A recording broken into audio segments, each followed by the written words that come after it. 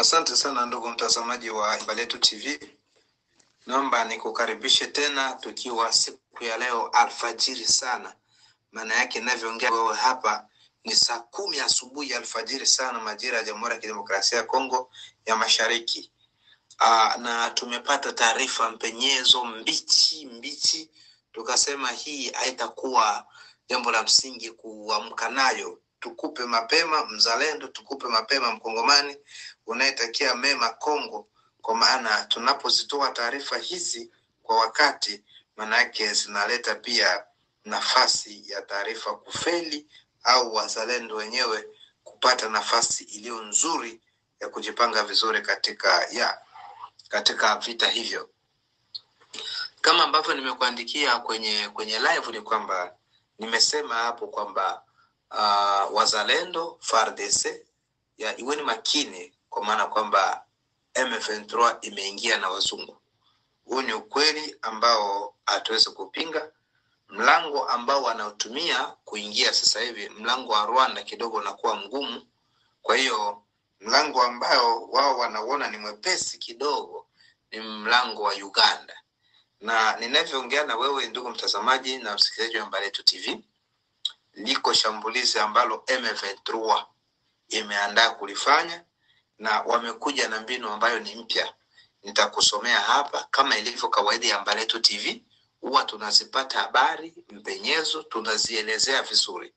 Kwa hiyo pale ambapo serikali inapochukua maamuzi au hatua ya kujikinga na hizo habari, mara nyingi zinakuwa zina feli. Sasa habari zikisha feli baada ya baada ya kuzisambua hadharani kabla hawajatekeleza, watu ambao fikra zao zinakuwa ndogo, hawajui siasa, wao wanasema hii habari mliotangaza ilikuwa ya uongo, mbona vijatokea Sasa wanakuwa wajui maana ya sisi kuitangaza mapema ni nini.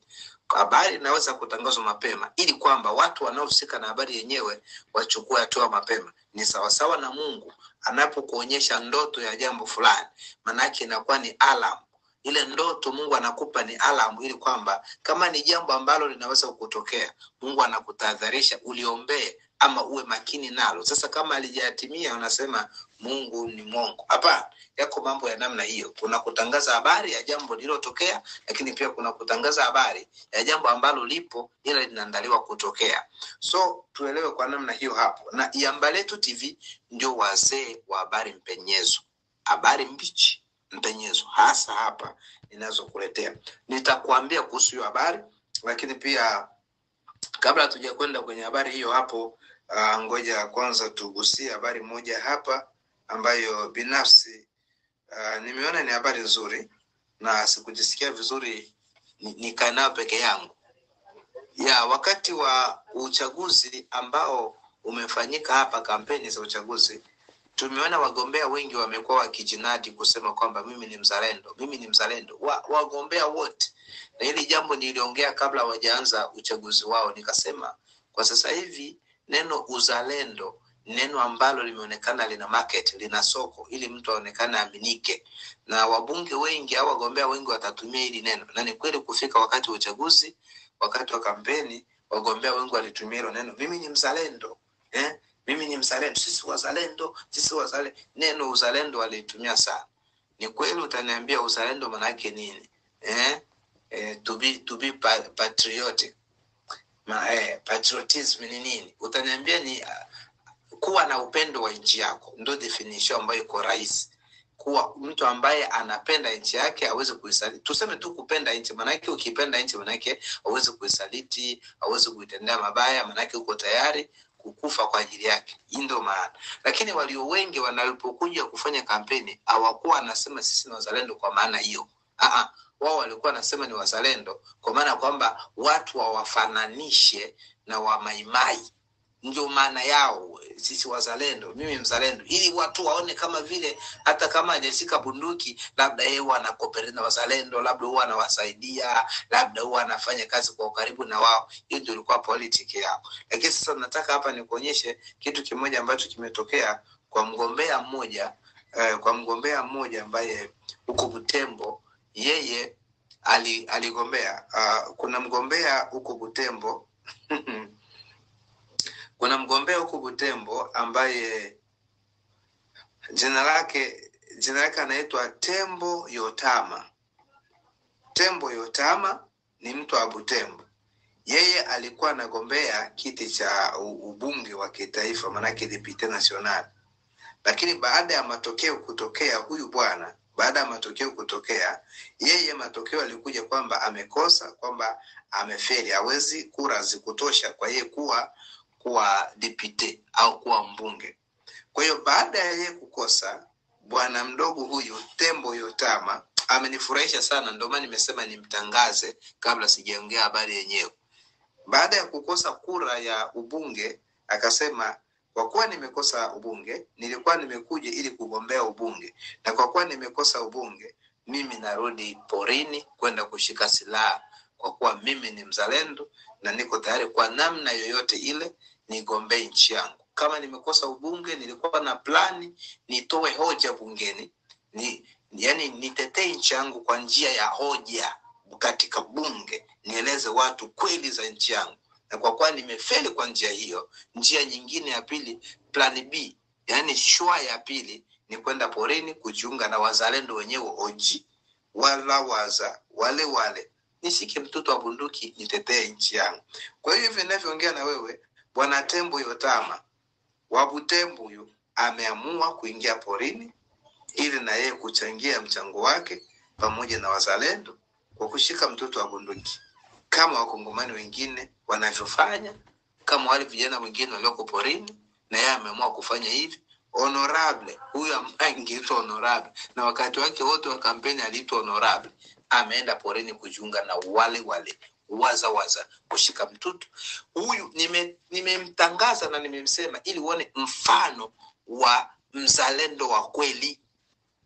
Sio maneno ya hawa wanakuja kuja tu wanatembea sisi wazalendo ni maneno tu. Huyu ndiye mzalendo sasa amekosa parlema. Sasa anaenda kushika bunduki. Na wewe sasa mtu kama huyu maana yake aje kugombea hata muhula unaokuja watu wanaamini huyu ni mzalendo watu wanaamini sasa huyu ni mzalendo hata sisi tukimsaidia kupiga kampeni hatujawa na makosa ni mzalendo ushahidi upo sasa sio wale anakuja tu kwa sababu ya kura, mimi mzalendo, mimi mzalendo. Waongo hao. Twende na habari yetu. Ndugu mtazamaji na msikilizaji wa Mbaletu TV, ni kukumbushe sasa, unaweza kusubscribe channel yetu ya Mbaletu TV. Kama uja subscribe, fanya hivyo tafadhali, lakini pia ni kuombe upartage emission, share linki kwa watu mbalimbali, na wewe unayetusikia kwa njia ya audio, share audio hiyo watu wapate habari hizi murwa, habari mwanana, habari ambazo zina ukweli na uhakika, mbichi kabisa, mbichi kabisa. Hii habari uh, nilichelewa kidogo kuitangaza kufuatana na nini, nilikuwa natafuta uhakika wayo na nipate kabisa uhakika kwa watu wawili watatu kutoka kwa vyanzo vinavyonipa habari zinazofanana na hii. Uh, ni kwamba uh, siku hizi uh, M23 imekuwa ikipigwa vichapo vya kutosha uh, na kabla ya vichapo hivi walikuwa tayari wameshapanga plani watashambuliaje ngome za FARDC, watashambuliaje ngome za, eh, za za wazalendo wale wale, kwa sababu kila wanapojaribu kushambulia ngome za wazalendo wanakuwa wamepata ugumu sana. Kila wanaposhambulia ngome za wazalendo wanapata ugumu sana, lakini pia imeonekana kwamba wa FARDC hawawashambulii tena isipokuwa wazalendo ndio wanaoshambulia ile FARDC washambulia, lakini pia kuna bunduki nyingi ambazo wanapotaka kupata silaha wakienda kwa wazalendo hawatapata silaha, wanaweza wakapata silaha kwa zile camp ama position uh, ama zile yale maeneo ambapo jeshi la taifa FARDC imekaa. Kwa hiyo katika hilo sasa, kwa kuwa ziko silaha nyingi wameshachukuliwa kwenye akili yake, wakawa wanataka pia wapate silaha, kwa maana wakipata silaha kupitia jeshi la serikali, basi wanaweza wakatangaza, ona silaha nyingi, ona hivi, ona hivi, ona hivi. Lakini pia wazalendo kuwapiga inakuwa vigumu sana, wakatafuta njia ambayo wanaweza wakaitumia ili kumweza mzalendo, na ndiyo siri ambayo na naweka hadharani sasa hivi. Yawezekana umeshaisikia, kwa sababu habari hii nimepewa mapema, lakini nimechelewa kuitangaza nipate uhakika zaidi. Kwa hiyo mpango ambao wameufanya na sio mpango wa leo au wa jana, ni mpango wa muda mrefu, lakini walikuwa hawajautekeleza. Ndo naleta kwa maana wamepanga sasa kutekeleza. Sasa hivi wamepanga washambulie M23, washambulie baadhi ya maeneo mbalimbali ambao ambapo wazalendo wame wametulia au wameshikilia na katika maeneo ambayo wamepanga kushambulia ni pamoja na maeneo ya kuelekea Rubaya, kule ni priority. Maeneo ya kuelekea minerals, uh, machimbo ya Rubaya kule ni priority, lakini pia maeneo ambayo yanaelekea hizi uh, hizi position za wazalendo na FARDC ambazo zinaelekea elekea kukaribiana na jiji la Goma, zile position ambazo zinalinda jiji la Goma. Uh, na mpango walio walioupanga sasa uh, imebidi wachukue wataalamu ambao waliwapa, tunaweza sisi tukawasaidia, sio kwa kupiga risasi, lakini tunaweza tukawasaidia kutumia kutumia kemikali, kutumia risasi za kemikali au kutumia mabomu ya kemikali, kwa maana ya kwamba